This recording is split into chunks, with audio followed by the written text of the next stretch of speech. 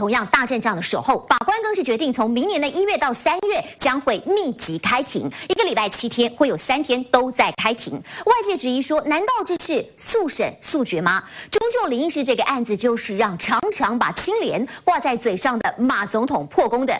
国民党上上下下都知道，最好不要在马总统面前提到林义事。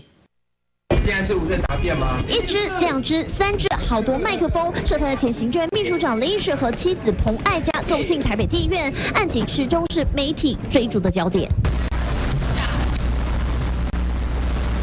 三个小时后，庭讯结束，林家的被告们通通不认罪，甚至质疑陈启祥提供录音档的可信度，怀疑剪接过。双方你一言我一语，法官最后裁定，这个案子从明年的一月到三月将会密集开庭，一个礼拜七天将会开庭三天，甚至将传讯经济部长施延祥，因为他曾经作证说林是仗着职权官说过中高中联的卢渣标案，这是速审速决吗？很多案子都拖很久很久。